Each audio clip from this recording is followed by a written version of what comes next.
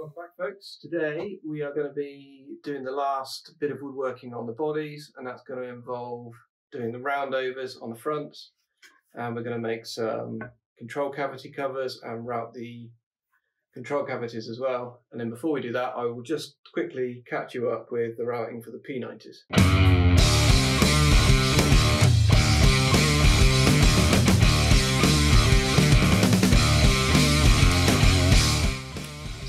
Throughout the series so far then, you'd have noticed that what I've been doing is the same job on both guitars, one after the other. So I would rough out both necks, rough out both bodies, stick on both fretboards, etc.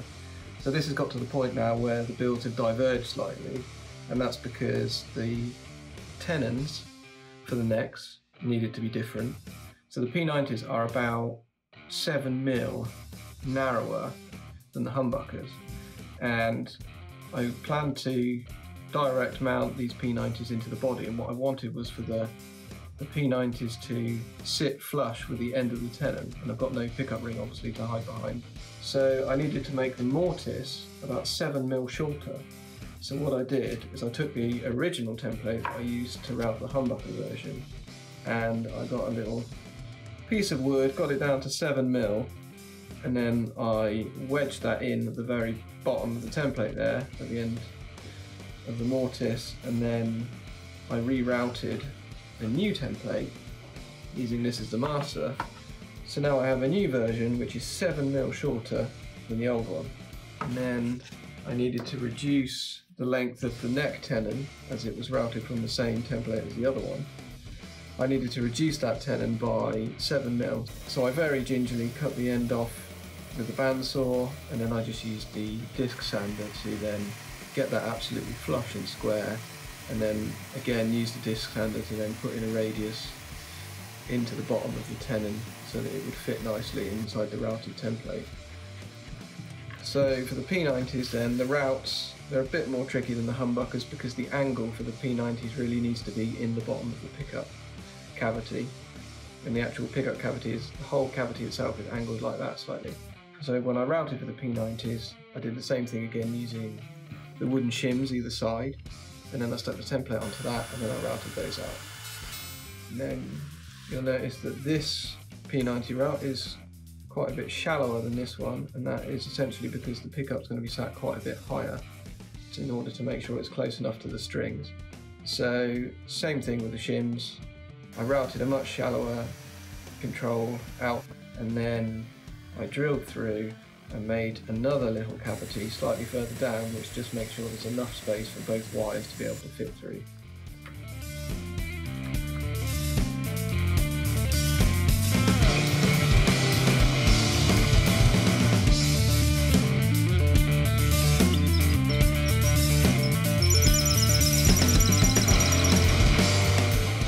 roundovers, exact same process as before, I'm just going to go around with a 5 mil roundover bit, trying to go with the direction of the grain.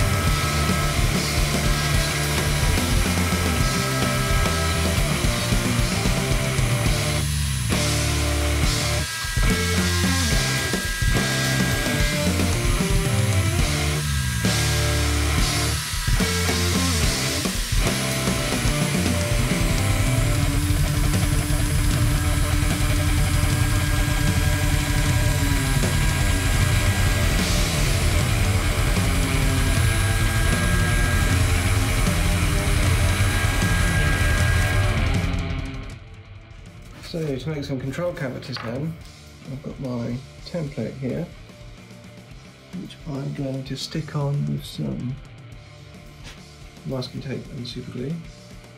And then I'm just going to hog out all this material.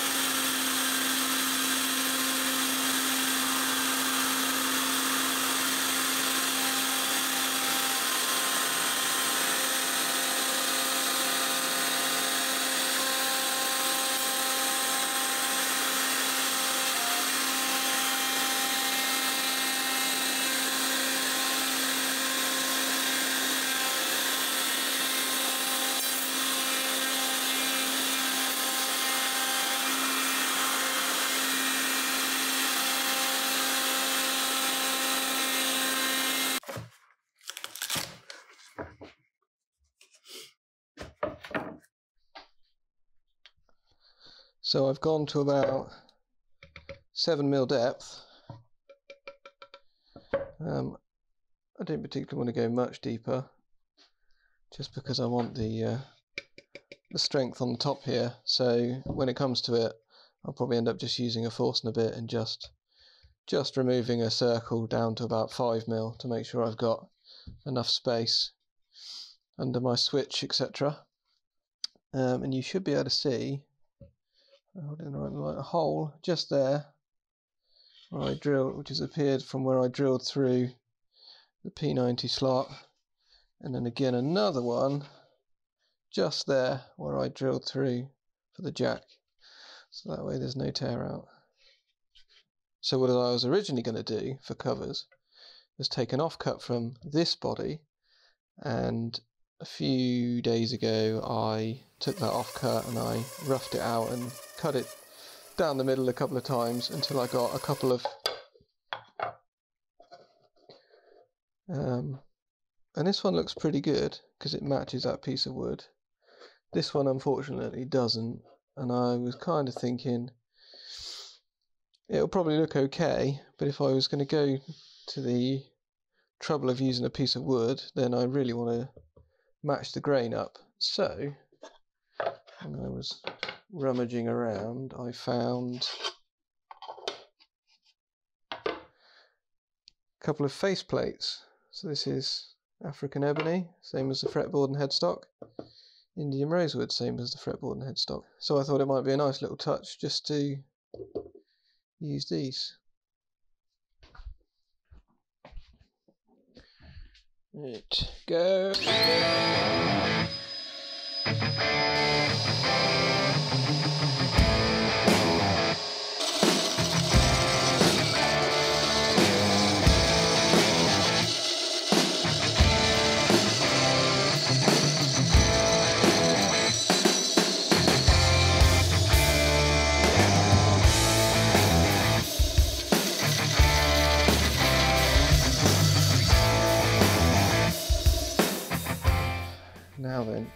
Don't often use a table router. Jobs like this, it's a damn sight quicker.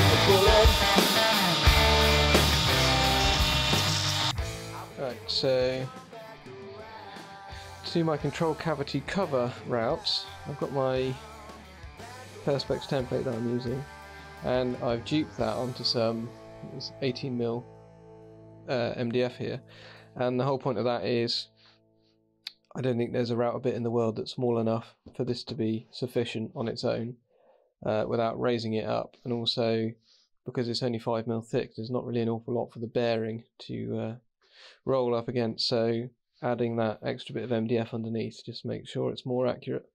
And I've stuck that on. And um, so what I'm going to do is I'm going to route this, and I'm going to move my router bit down to the current surface, and then I'm going to use my plate as a depth stop. There we go. So I, I've already set this. I want to go basically the depth of this and then just a tiny bit more. Um, there's going to be lacquer underneath it, so it'll end up being slightly shallower than I route it. So that just going in there loosely is plenty. And we're going to route that now.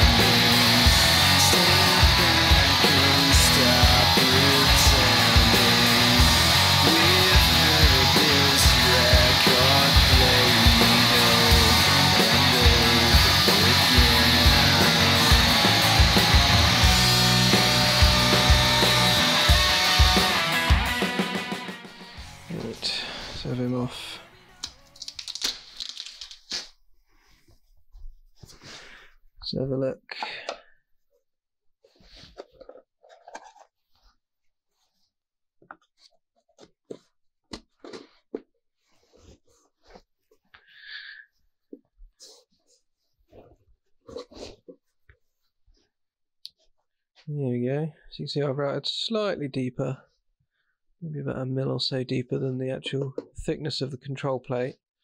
Um, and that just means that I've got plenty of room. I kind of like them inset ever so slightly anyway, but it just means that when I spray lacquer over the thing, because that will add a bit of depth to it as well, and it's not going to be bulging out of the body at all. I definitely don't want that. And I want to keep as much thickness in the control plate as I can. So now that these two guys are routed, in the next episode, I think we shall be carving the necks, getting them to fit nicely in the pockets, and then possibly gluing them in as well. See you next time. Time